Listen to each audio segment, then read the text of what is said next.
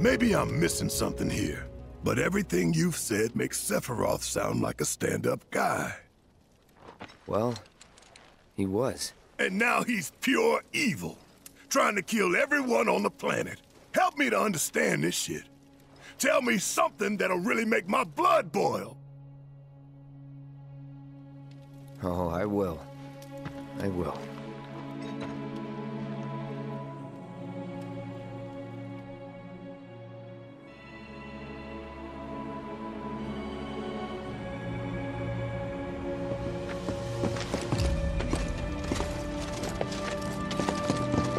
Wait out here, Tifa. No way!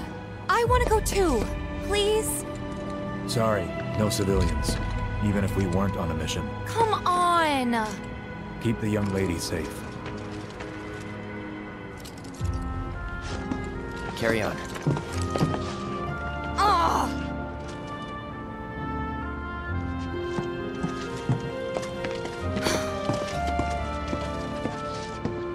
You better keep me safe.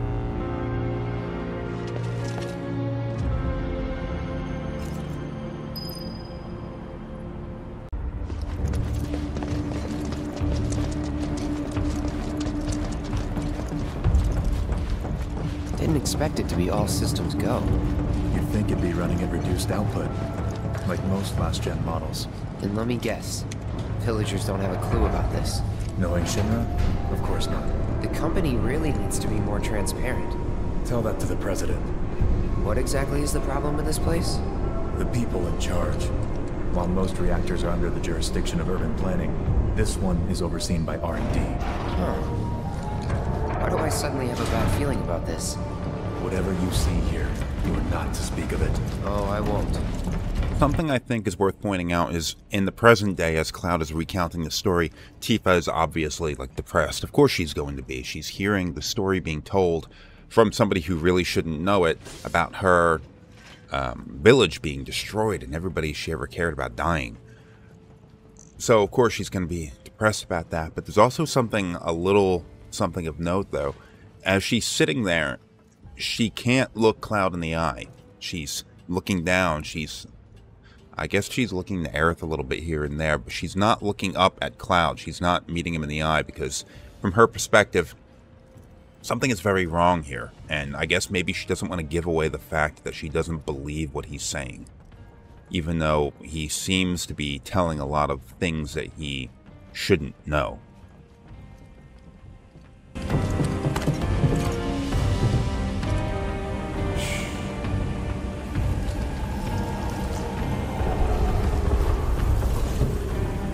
Perhaps you'd like to say a few words to your sword first?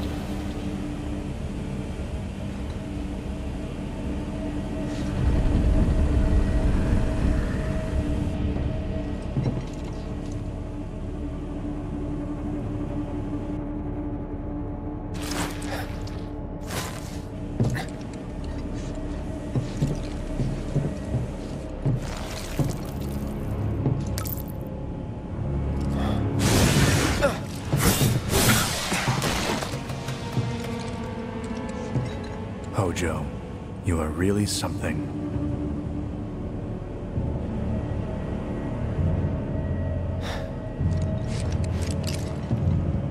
What are those things?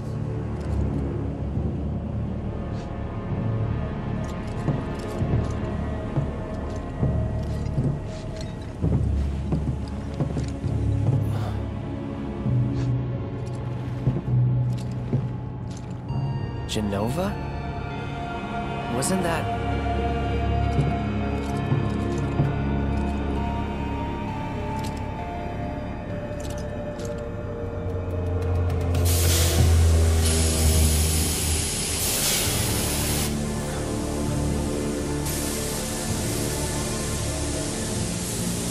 The malfunction must be forcing the pods to depressurize.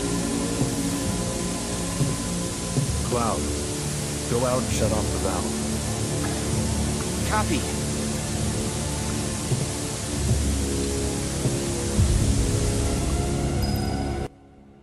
I am so pleased by the fact that they did not try to sort of insert the um, the crisis core retcons into this because during the during Crisis Core they had and created a number of new characters and put them into the story and they had during that during this scene in Crisis Core they had the character of Genesis show up and talk with Sephiroth which pissed me off to realize that they were screwing with the canon of the story to that degree.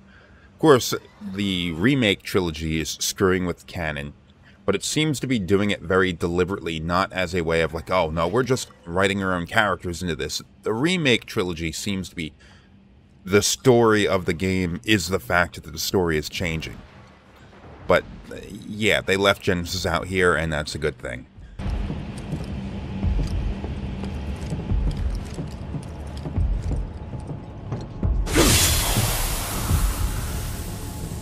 What are you doing? These pods were built for the production of artificial materia. But Hojo repurposed them as incubators, cages for animals, infused with Mako, all to birth a new breed of monster.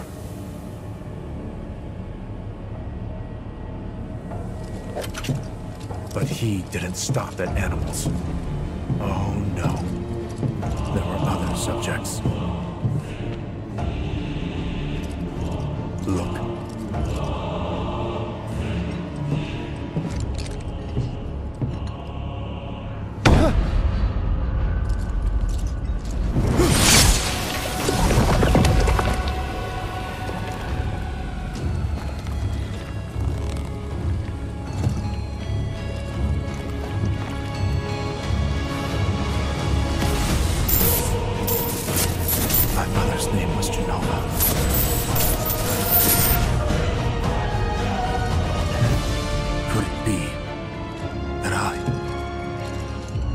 Was created the same way? Am I the same as these monsters? Sephiroth. Ever since I was a child, I knew. I knew that I was different. That I was special. But not like this. Not like this.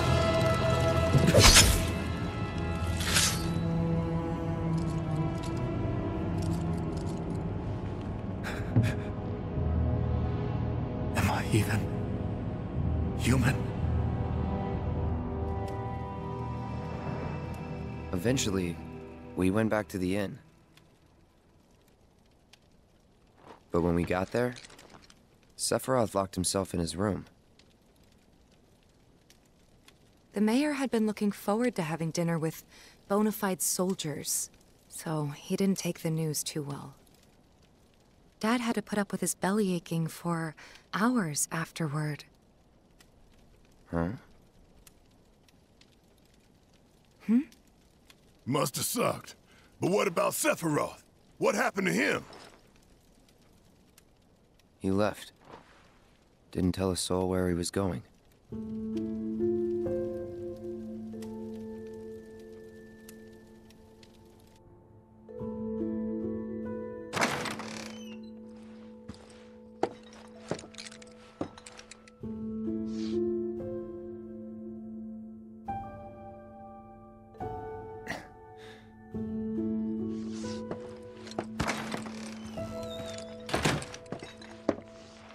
So I was wrong there. Tifa did in fact look up and meet Cloud's gaze for a few seconds, but for the most part she was sort of avoiding looking him in the eye.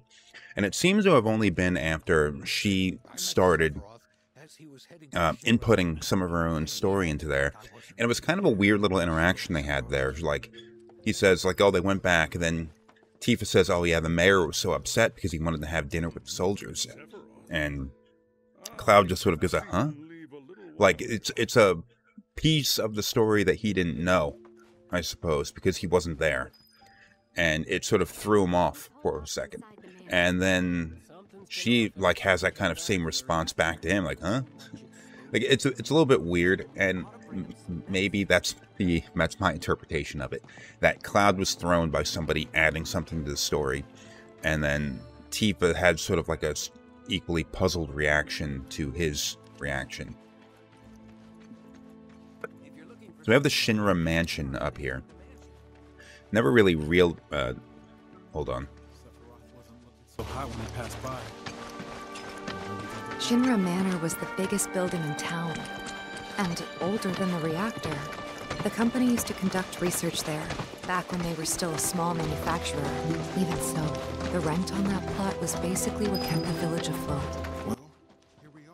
It never really made a lot of sense, the nature of the Jenova experiment, because they had taken Jenova out of this the ground and believed that her she was an ancient, and then stuck her in this reactor off in the Nibelheim Mountains that was completely unmanned. As far as we can tell, there was nobody working there. So who was running the experiment? Who was doing what with this? But they do show that Shinra did have a presence in this village from a long ass time ago, and this mansion is the proof. And add a little bit of detail saying, like, oh yeah, well, Shinra still was here and they still paid rent on the mansion. So it was more or less like what kept the town solvent. But in the the mansion seems to have fallen apart, though someone's still lighting candles and paying electric bills. Shut up, cat. My cat's uh, running around the room, meowing at me.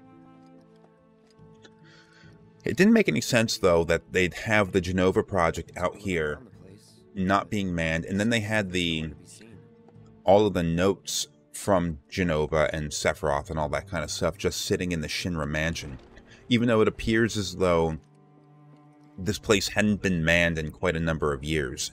They had the um, they had the laboratory in the basement, but it didn't look like anybody was working there anymore. And not until after after Sephiroth burned the place down did they have anybody doing any experiments here again. So it doesn't make any sense why. But, you know, it is a video game and there are certain sort of cognitive leaps that you have to make to sort of just accept things as the way they are. Oh, those are the tubes that Cloud and Zack are going to be jammed in. Yep, door we can't get through. That means there's going to be a dungeon here later, and that big room we walk through is going to be a boss battle arena. Hmm. All right, here we go.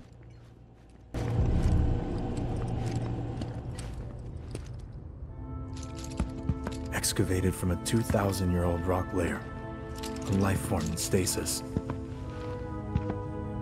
Professor Gast named this life form Jenova. MEGL 77 1977. Jenova. Verified as an ancient. Uh, MEGL 913 1977. Jenova Project approved. So, they named the life form Jenova. And once they understood what she was, they grew ambitious. Hey, Sephiroth. What you got there? Leave me be.